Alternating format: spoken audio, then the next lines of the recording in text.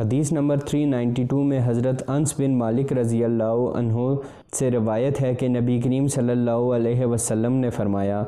मुझे हुक्म दिया गया है कि मैं लोगों के साथ जंग करूँ, यहाँ तक कि वो ला इल्लल्लाह कहें। पर जब वो इसका इकरार कर लें और हमारी तरह नमाज़ पढ़ने लगें और हमारे किबले की तरफ़ नमाज़ में मुँह करें और हमारे ज़बीहा को खाने लगें